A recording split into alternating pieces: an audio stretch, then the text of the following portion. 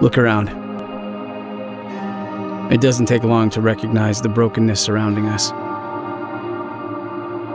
division, hatred, fear, uncertainty.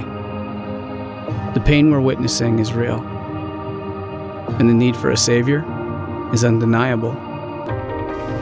It's this need which broke the heart of God and moved him to do the unimaginable. For God so loved the world, he sent his only Son to change our eternity, to be the perfect sacrifice for us. Love on a cross, dying once for all, laid to rest in the darkness of a tomb. Today, as we face so many unknowns, may we remember the simple truth of Easter. The stone's been rolled away. The grave is empty. Jesus is alive. And love has risen.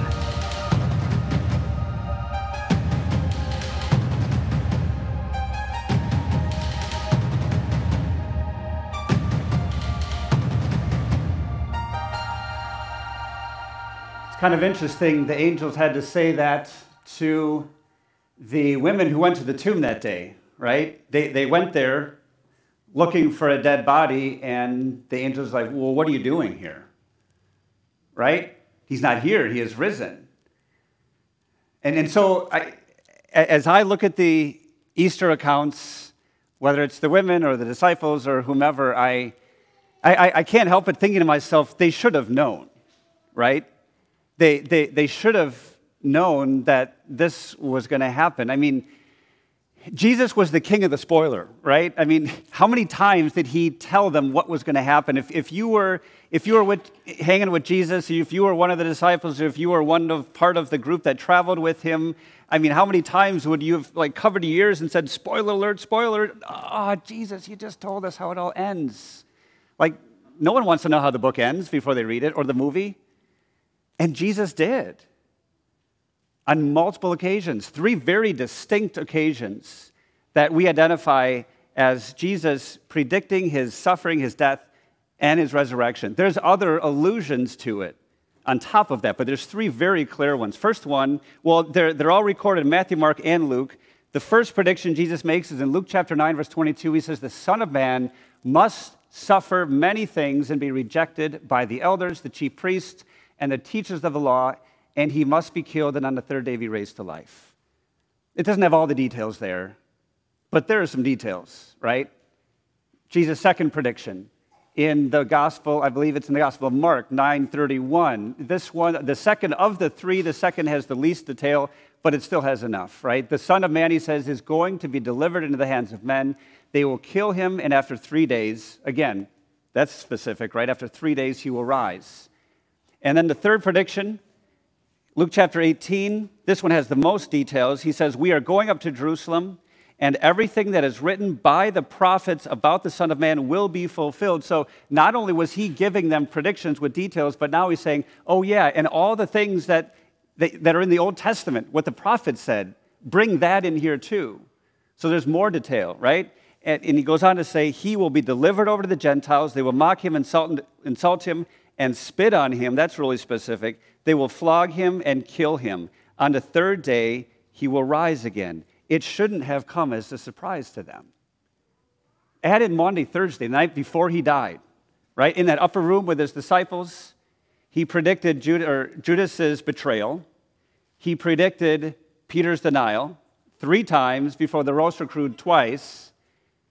And he predicted that all the disciples would desert him, and it all happened. They should have known, they should have seen it coming. I mean, they, they should have known how this weekend was going to go, scene by literally bloody scene. And in fact, Jesus said to them in John chapter 14, verse 29, He said, I have told you now before it happens, so that when it does happen, you will believe. And yet, what did the women go to the empty tomb looking for? A dead body. They went back told the women, We have seen the Lord, he's alive. They, they, they're like, Yeah, right. No, there's no way it could be. It's nonsense. Peter, okay, he, he, he had some curiosity. He went to the tomb. He, he, he saw that it was empty. He saw the grave clothes. And then, as we just heard from Luke's Gospel, chapter 24, verse 12, he went away, wondering to himself what, have, what had happened. They should have known. They should have believed. They should have been able to mark off the events in real time as they happened. Now, here's the thing it's easy for us to look back and say, well, they should have known. They should have believed. I mean, hindsight number one is 2020, first of all. Secondly, it's so much easier to criticize the actions of other people. And so I have to say that this applies to me too. There's plenty that God has revealed to us in His Word about how life is going to go. And yet sometimes I'm surprised. Sometimes I'm stressed that God isn't going to work it out. Sometimes I, I, I question, I doubt, I wonder, get a little snarky. But God, we, I mean, we have God's word. They had the word of God straight from his mouth, plus what we now call the Old Testament. We have God's word too. We have the whole thing. Beginning to end, Genesis to Revelation, Old Testament, New Testament. And God tells us how life's going to go. He gives us a whole lot of details about how life is going to go. For example, um, John chapter 16, I like to think of that God gives us heads up, BT dubs, and FYIs, right? Heads up, by the ways, and for your information. So, first of all, Jesus, John 16, 33, heads up. In this world, you will have trouble, all right? Just, just so you know, this is going to happen. Acts 14, verse 22, by the way, we must go through many hardships to enter the kingdom of God.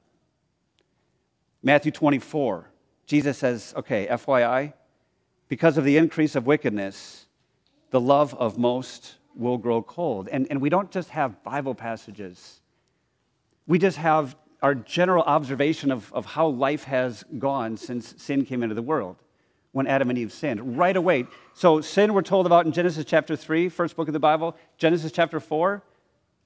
Adam and Eve have two sons that get into a conflict. Cain kills his brother Abel. And I mean, the floodgates were already open, but then just the whole Bible there's betrayal, there's tons of murder, there's adultery, there's deception, there's idolatry, there's just so much. I mean, we, we, we can just, by observation, know that. Look at the, look at the life of Joseph in the Old Testament, if you're familiar. He got betrayed, uh, sold into slavery by his brothers, falsely accused. Everyone forgot about him. He sat there in prison for who knows how many years. I mean, talk of, uh, yeah, life doesn't always go wonderfully. I mean, and Jesus said that. Jesus told us, He's like, life's not always going to be amazing. And it's not.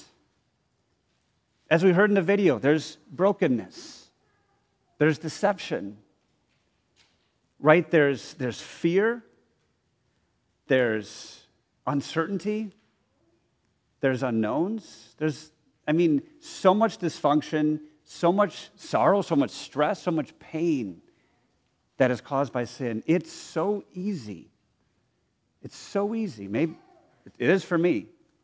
It's so easy to forget the things that God has said, the things that He has told us in His Word, just like those earliest, closest followers of Jesus did. It's easy to get so caught up in the emotions and, and just let them take over and overshadow the things that God has told us, just like those closest, earliest followers of Jesus, it's, it's easy to find ourselves deflated, defeated, feeling hopeless, just like those earliest followers of Jesus. You know what's awesome? One of the things that's awesome about this Easter account that, that I just want to highlight here today is just how the Lord deals with those followers who forgot, who got all wrapped up in their emotions, who ended up defeated, deflated, feeling hopeless. I, I, I love how the Lord deals with those same followers. Pulling in some other accounts from uh, other, other Easter accounts from other Gospels. First of all, Matthew chapter 28, verse 5. The angel speaking to the women, they say, Do not be afraid. So instead of rebuking them, instead of saying, hey, ladies, you should have known. So instead of rebuking them, the, the angel takes just a nice, gentle approach. Don't be afraid. It's going to be okay. I promise. Angel goes on to say, verse 6, come and see where he lay. So instead of like take this being like annoyingly showing them, okay, here, look, here's the proof. No, the angel patiently walked them through the evidence, right? And then, what do the angels say? In, well, Mark chapter 16, verse 7, angel says to the women, Go and tell the disciples and Peter, as if to say, we, we, we know that they're all a bunch of train wrecks right now. All of you are, quite honestly. They need to hear that, they need some relief. They need to hear this good news. They, you, go tell them right away. This is huge, and especially Peter because he was dealing with the, the, he was licking his spiritual wounds from the whole denial situation. Moving on, right? Uh, Luke 24 in our text. He is not here, he has risen. Again, instead of giving them some horrible guilt trip, beating them down, just share the, the angel just shares the joy and the excitement of Easter. Remember how he told you while he was still with you in Galilee.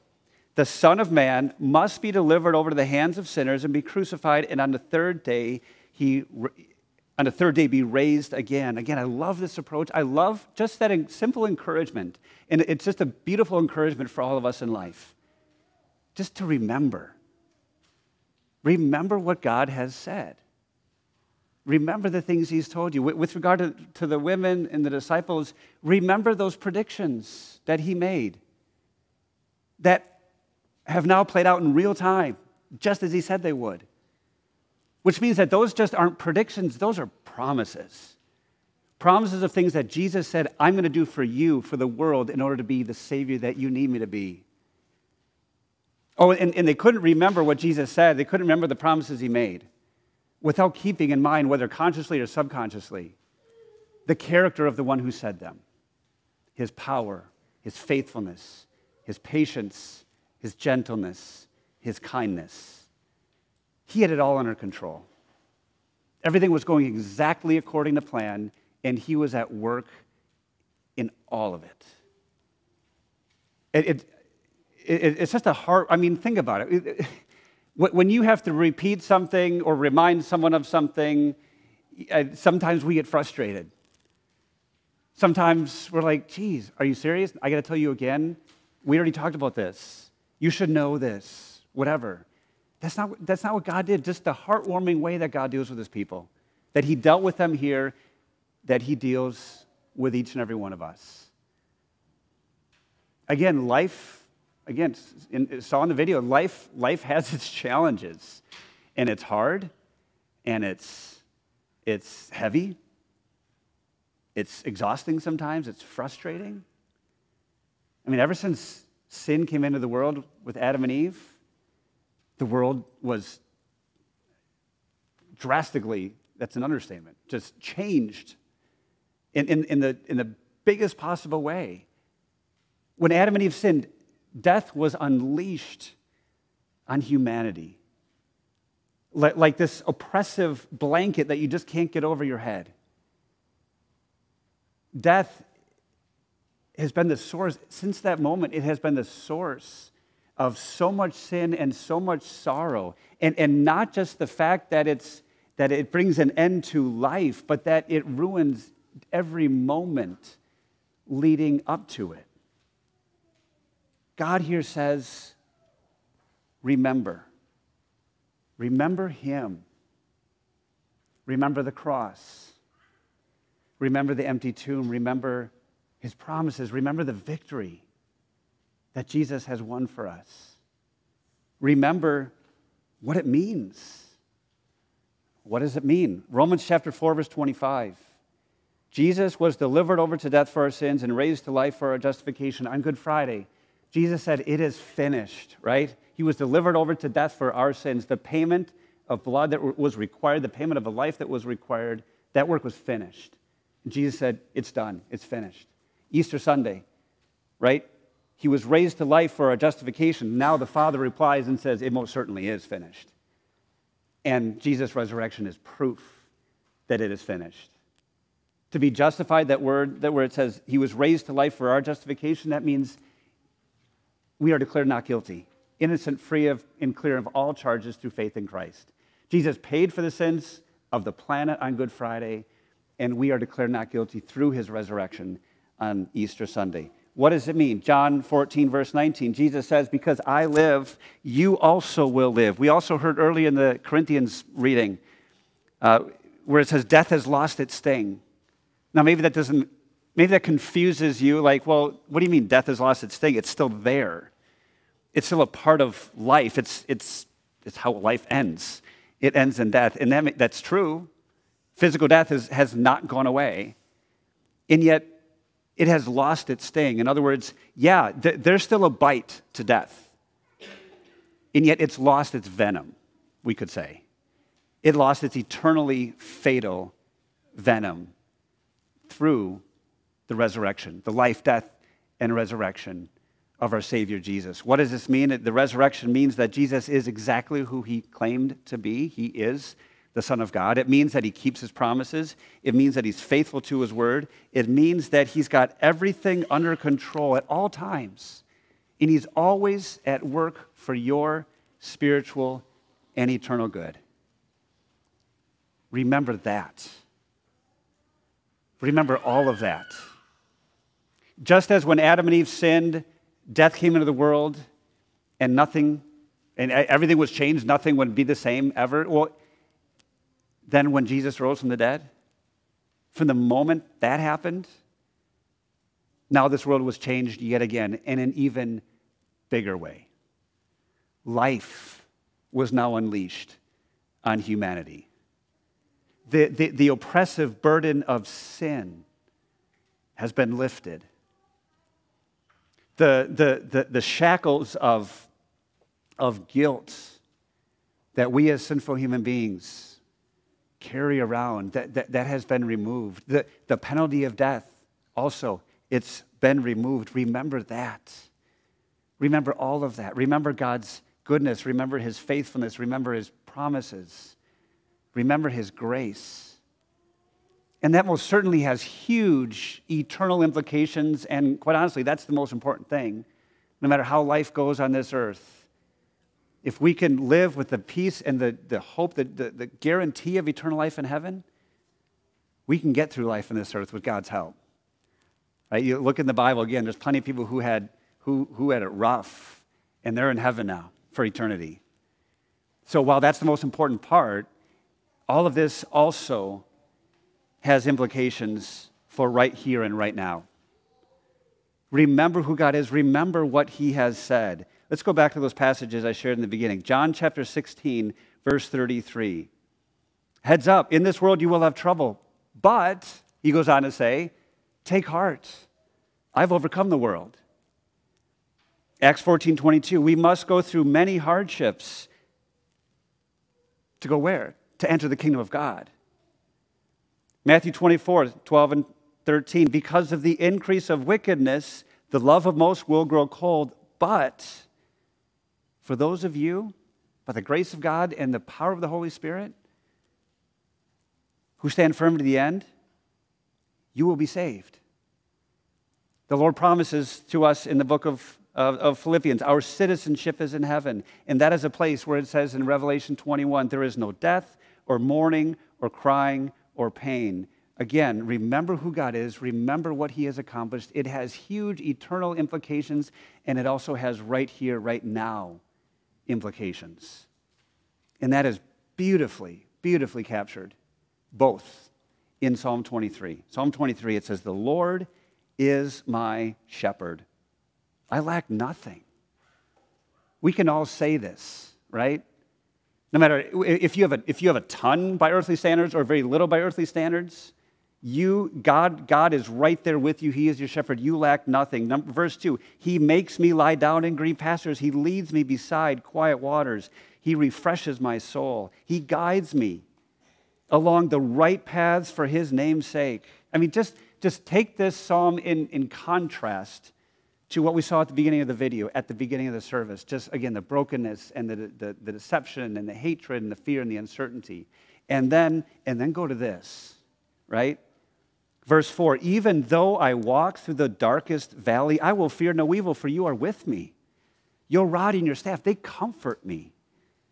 You prepare a table before me in the presence of my enemies. You anoint my head with oil. My cup overflows with blessings every single day. Verse 6 Surely goodness and love will follow me all the days of my life, and, and I will dwell in the house of the Lord forever. Through Christ, through his life, his death, his resurrection. Remember that every single day. Let's pray.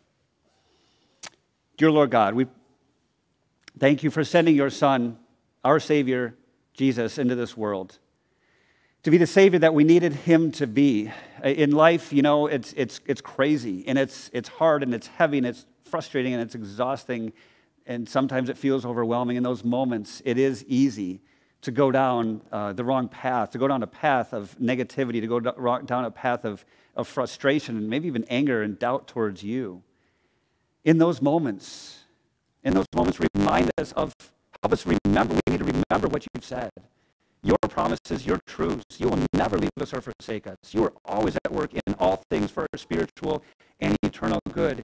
You are with us every step of the way. You are our good shepherd. Our cup overflows with so many blessings. No life isn't perfect, but we have this, this perspective of your presence and that, that you are always at work, and everything that happens in our lives, you, you use for our good. And, and we have exactly what you want us to have, whether that's much or little by human standards. You have guided us through life, and you have a future for us. You, you have plans for us, not to harm us, but to prosper us, to give us hope and a future. And for that, we thank and praise you. For the perfect life of Jesus, our Savior, his innocent death, his resurrection on, on, on Easter Sunday, so that we could be assured that even though we do go down those wrong paths and we sin against you, we know that our sins are forgiven we know that we are at peace with you. You have reconciled that relationship, and we are your children, your sons and daughters. We are heirs. We are heaven bound for eternal life. We praise and thank you for all these things as we pray together in the name of our Savior, Jesus Christ, who taught us to pray. Our Father in heaven, hallowed be your name. Your kingdom come, your will be done on earth as in heaven.